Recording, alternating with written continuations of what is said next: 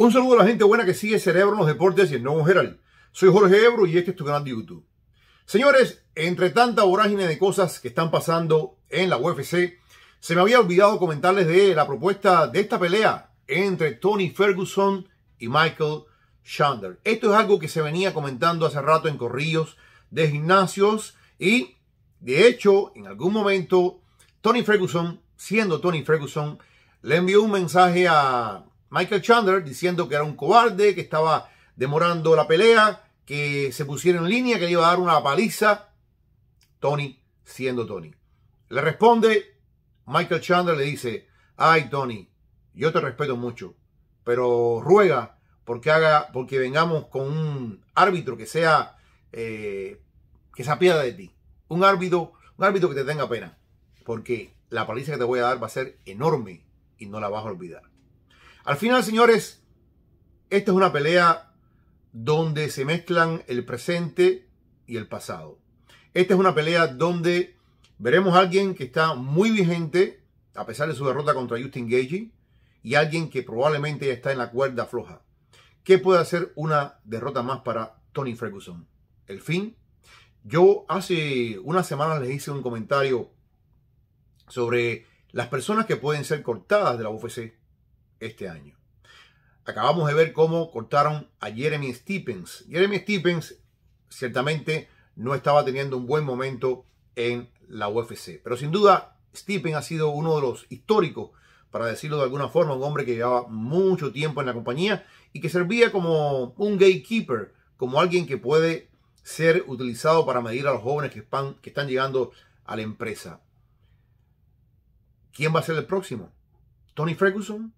Si Michael Chandler lo, humilla, lo derrota de una forma tremenda, yo creo que esto es lo que hace interesante la pelea. ¿Cómo puede recuperarse Tony Ferguson? Yo sé que Tony es uno de los favoritos de la fanaticada y que muchos de ustedes siempre me están preguntando por lo que puede pasar por él, cuál es su futuro. Yo creo que esta derrota, esta, esta pelea va a ser definitiva en el futuro de Tony Ferguson. Tony, yo siempre lo digo, no es que pierda, es la manera en que pierde la forma en que Justin Gagey lo avasalló con su mano derecha y esos golpes que entraban, entraban, entraban, la forma en que el futuro campeón Oliveira lo dominó en el piso y le puso ese ámbar que todos todavía nos preguntamos cómo él pudo sobrevivir a esa llave sin que el brazo se le quebrara. Y después vino el Darius, que también tuvo un juego de piso con su jiu tremendo y lo dominó de principio a fin.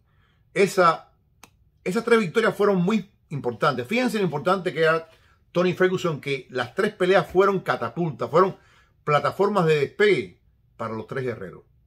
Justin vence a Tony, que en ese momento venía con una racha de 12 victorias, 12 victorias y parecía imbatible y parecía el único hombre capaz de vencer a Khabib Nurmagomedov.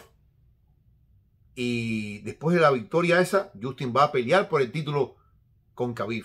Le correspondía a Tony si Tony hubiese ganado, pero fue todo lo contrario y Justin avanzó a la pelea por el título.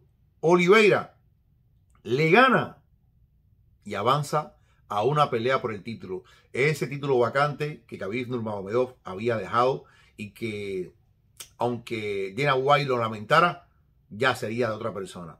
Le gana Oliveira y Oliveira después le gana a Chandler y se convierte en campeón de las 155 libras.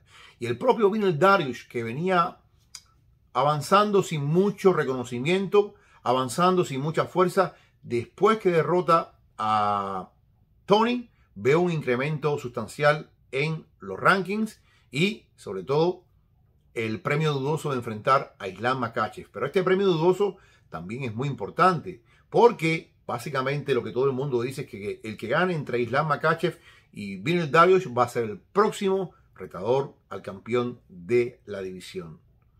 Desde ese punto de vista, Tony ha servido para otros.